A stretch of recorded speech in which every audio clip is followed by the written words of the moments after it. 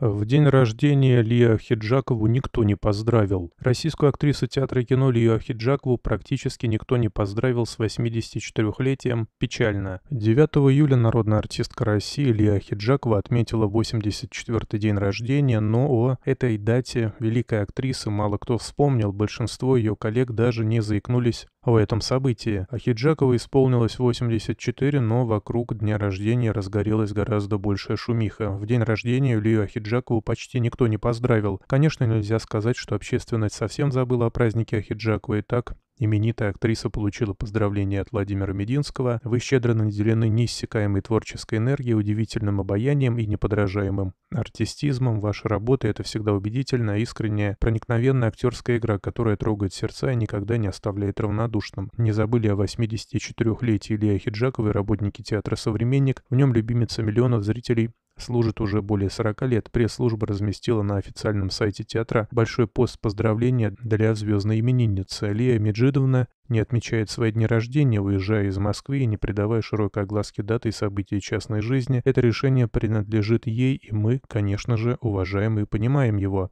Поэтому вот так заочно весь современник от всей души поздравляет своего дорогого друга и коллегу и желает огромного счастья, радости и здоровья. Но стоит отметить и тот факт, что друзья и коллеги Ахиджаковой могли поздравить ее с днем рождения при личной встрече, а поскольку сама актриса не любит выставлять на показ личную жизнь, они просто решили не афишировать этого. Отметим, что на днях Лия Хиджакова прокомментировала слухи об увольнении из «Современника». Лия Хиджакова заявила, что спектакли с ней не убрали из репертуара «Современника». Актриса Лия Хиджакова прокомментировала слухи об увольнении из театра «Современник». Она заявила, что спектакли с ней не убирали из репертуара. Артистка отметила, что у нее запланирована постановка на октябрь, а в настоящее время она играет в спектаклях «Первый хлеб» и «Игра в джин». Так что пока меня никто не убирал и, надеюсь, не собирается, все нормально, заключила Хиджакова. Отметим, в прошлом году она пожаловалась на травлю после скандала, вызванного спектаклем «Первый хлеб». Я неоднократно подвергалась проявлениям неприязни ко мне, но такого шквала еще не было, и я не знаю, по какому признаку меня выбрали мишенью, сказала Ахиджакова.